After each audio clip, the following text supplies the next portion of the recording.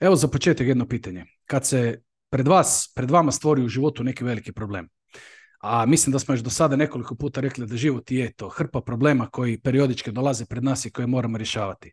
Kad dođe takav problem, kako reagirate? Kako se ponašate? Je li to ono u stilu, joj, zašto opet? Zašto baš meni?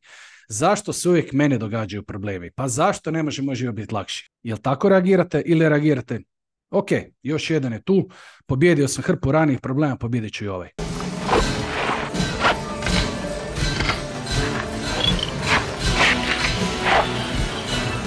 Zašto vas to pitam? Zato mi je to jako dobar uvod u jednu pričicu koju ću vam sada ispričat, a tu priču sam prvi puta čuo u knjizi eh, Davida Gogginsa Can't Hurt Me.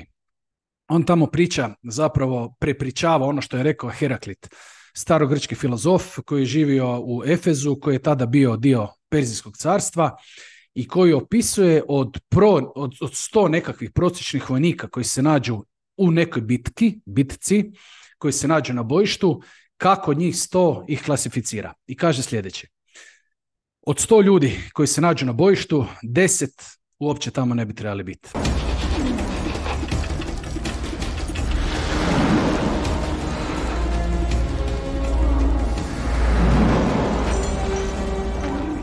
To je od njih apsolutno nikakve koristi, od njih samo velika šteta. To su ljudi koji će smetat, koji će pobjeć, koji će, ono, nikakve koristi, samo velike štete. Sljedećih dolazimo do brojka od 80. Dakle, to je velika većina tih ljudi koji su na bojištu. To su ljudi koji jesu tu, koji možda neće pobići na prvi napad protivnika, ali male koristi od njih. So many.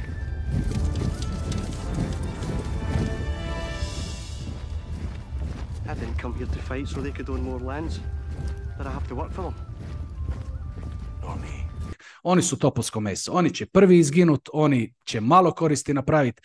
Korisni su samo zato jer su brojčani. Bro- brojni su. Ima ih puno i kad ih vidi zapovjednik druge vojske sa nekog brda, reći će, uh, ima ih dosta, možda neće biti tako lagano.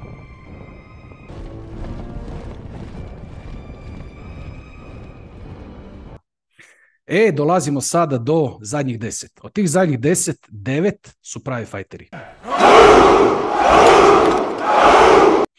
Njih Heraklit zove pravi fajteri na koje su bitki ili bitci možeš oslonit, koji će uvijek za svog suborca stat, e, zaštitit, e, koji će napast, koji će se uspješno braniti, koji će donositi prevogu u bitki. To su vojnici koje nećeš lako pobijediti, koji će se boriti ono do zadnje kapi krvi ili do konačne pobjede.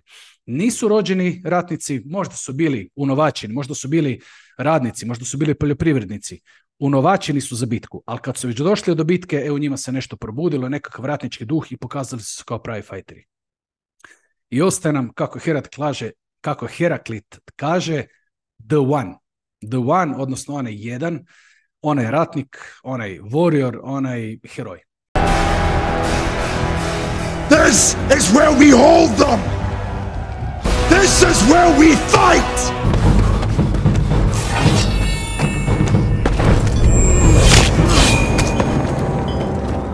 Sons of Scotland, I am William Wallace. My name is Maximus Decimus Meridius. Taj jedan je onaj koji će biti najžešći borac, onaj koji će e, najveći učinak napraviti, onaj koji živi za to, e, kojem ništa nije teško i za njega Herat, Heraklit kaže to je onaj koji će dovesti vojsku doma. Šta to znači? Pobjedit će u bitki, povešće vojsku, neće, neće reći ajde vi u napad, nego će reći ajde za mnom, on će prvi uletiti u prve redove, najjače će se boriti i on će dovesti ljude doma nakon pobjeđene bitke, nakon što pobjede u bitki. E sad, znam da ima među vama ljudi koji će reći opet on priča o vojsci, o ratovima, o ne znam čemu. Ne, nisam militaristički tip, ja sam tip koji e, doslovno razmišlja da uvijek moraš biti spreman na sve i ja sam tip koji život često gleda kao rat. Mi nismo u ratu sada sa nekakvim protivnicima, na ovim našim prostorima ratovi su, hvala Bogu, završili prije skoro 30 godina, nadam se da ih više nikad neće ne biti, ali svako od nas je svaki dan u ratu. Dozvolite da objasnim. E, u ratu si zato jer ti svakog 15. dolaze računi koji moraš platiti. U ratu si i moraš platiti ratu kredite, inače ćeš ostati bez kuće ako si uzeo kuću na hipoteku i vraćaš kredit za nju. U ratu si svaki puta kad ti šef, kad te šef maltretira na poslu. You are scum! I should fire you and burn down your friggin' house! ili bullying u školi, e, što doživljavaju djeca. Come on. U ratu si kad te možda kolege na poslu sabotiraju, kad žele preko tvojih leđa napredovat, pa ti zabijaju noževe u leđa. U ratu si sa djecom, vlastitom, da ih natjeraš da uče za njihovo vlastito dobro, da se nauči pospremat kuću, da se nauči redovito učiti, pisat zadaću. Ovo je teška riječ, u ratu si, ali kad gledate, to su zapravo svakodnevne bitke, manje ili veće, a skup ili zbir bitaka čini rat. Tako da možemo ovaj civilni život na neki način usporediti sa ratom. Kako bismo sada ovih, ovu Heraklitovu podjelu ratnika pretvorili nekako u stvarne ljude u civilnom životu? Ajmo ovako. Ovih deset, koji bolje da ih nema tako, ružno za reći, ali to su ono ljudi za koje se nekada kaže, a gle, užasan moj život, možda bi bilo bolje da ga nije ni bilo. To su jako teške riječi, to su jako ružne riječi, ali to se obično kaže za ljude koji su sami sebi najveći neprijatelji. Često su zbog stila života, zbog alkoholizma, zbog e, narkomanije, zbog nečega, ostali bez obitelji, ostali bez e, nekretnine, ostali bez mjesta stanovanja. Nažalost, mnogo njih su beskućnici. Govorim o onima koji su beskućnici vlastitom krivnjom. Jednostavno, to su ljudi koji i kad imaju priliku napraviti nešto bolje za sebe, kad dobiju priliku dobiti posao, jednostavno ne, ne iskoriste. Ponovo se odaju alkoholu, ostanu bez tog posla i tu skoro da nema pomoći.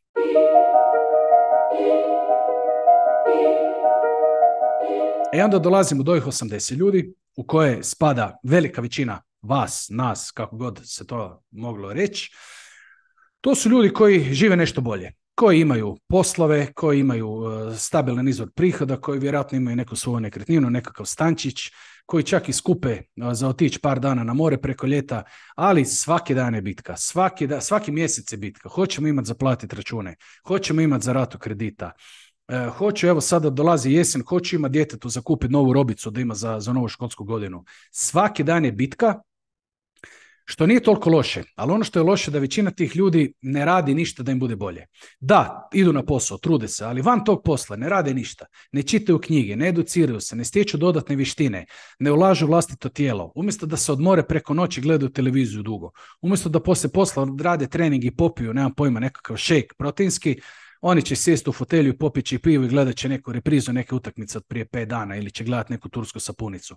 Dakle, ne zamjeram. Ako se vi nalazite u, u toj skupini ljudi, to je potpuno ok, legitimno i nemojte sada smatrati da vam popujem. Samo što želim reći, ako želiš bolje, moraš se boriti. Moraš ući u bitku. Einstein je davno rekao, čineći svaki dan iste stvari i očekujući drugčije rezultate, definicija ludosti. Dakle, ne možemo živjeti svaki dan isto, ništa ne radi da nam bude bolje i onda očekiva da će nam nekako, nemam pojma, postati bolje. Bogat ujak će nam ostaviti novci iz Kanade. Neće. E sad dolazimo do onih slatkih deset. E, dolazimo ono, do onih devet. Oni pravi fajteri, onih devet fajtera koji možda nisu rođeni ratnici, ali jednostavno kroz život su dorasli okolnostima. Dorasli su okolnostima koji su, koji su ih dočekali. To su možda ljudi koji su se rodili u siromašnim obiteljima, čiji su možda roditelji nikako nisu uspjevali napraviti taj neki korak da im omogući bolji život, ali su im stvorili dobru bazu da oni sami sebi stvore bolji život. To su ljudi koji rade na sebi, koji brinu o svom zdravlju, koji brinu o svojim tjelesnim performansama, o mentalnim performansama, koji ulažu u svoj san, koji ulažu u svoju prehranu, koji su redovito tjelesni aktivni, koji čitaju, koji upisuju tečajeve, upisuju seminare, upisuju mentorstva, e, upisuju škole nekakve, većenje, onakve i onakve. To su ljudi koji sa 50 godina upišu fakultet. To su ljudi koji sa 60 godina se odluči ići na doktorat. Jednostavno žele stalno napredovati. Ja nekako sebe mogu svrstati u tu skupinu. E, volim izazove, volim stalno neke bitke, ne zazivam ih, ne zazivam probleme, ali kad dođe do određenih problema kažem ok, problemi su tu, idemo sada u fight, idemo napraviti nešto dobro. Ali ja pretendiram postati onaj the one, the warrior. Taj The Warrior, to su rođeni pobjednici, to su ljudi koji nikada praktički si ne dozvole nekakva izletanja, koji si ne dozvoljavaju ljenost, koji si ne dozvoljavaju kao što se ja često dozvolim da se ubijem nekada u čokoladama, to su ljudi koji neće e, prestati raditi na nekakvom projektu ako je neka super utakmica, ja recimo hoću uglavnom.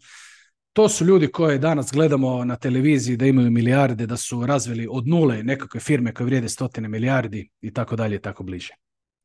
E sad, svaki dobar YouTube video, barem tako kažu stručnjaci, mora imati neki zaključak. Šalim se malo, ali naravno da mora biti neki zaključak, inače video nema smisla. Umjesto zaključka poruka. Message! U kogod skupinu spadali.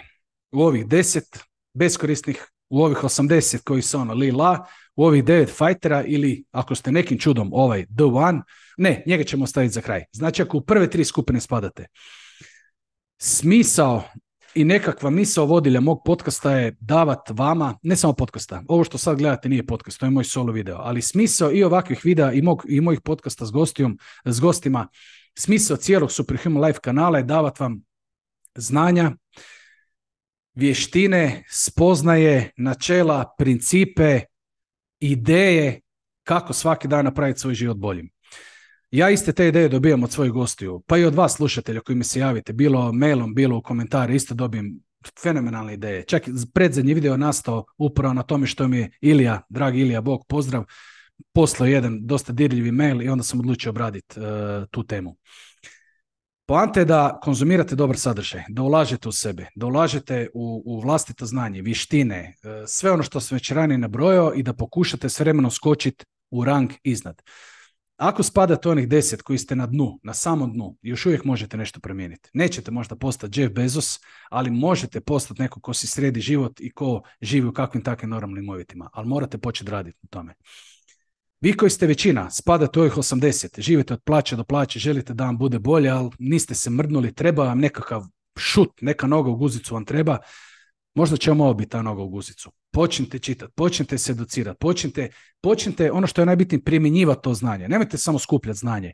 Pročitajte jednu knjigu i krenite primjenjivati to što ste naučili. Nemojte samo slušati, gledati 500 miliona YouTube videa, a ništa od toga ne sprovesti u djelo. Krenite raditi na sebi počnite malo više se baviti vlastitim tijelom, počnite malo trenirati, počnite se zdravije hraniti, počnite spavati nekakvih normalnih 7-7,5 sati i vidjet ćete život će vam krenuti jako na bolje.